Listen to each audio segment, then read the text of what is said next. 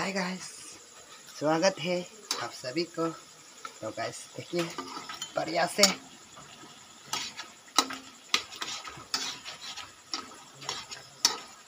इस तरफ़